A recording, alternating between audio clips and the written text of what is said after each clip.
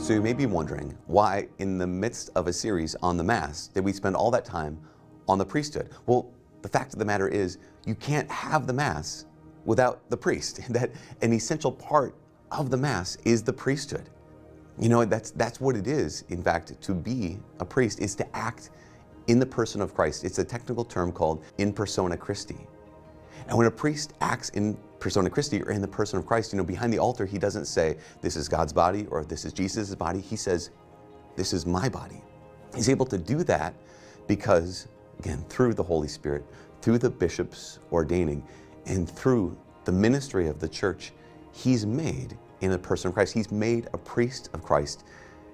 He's given that gift so that he in turn can give the gift of the Eucharist to the entire church.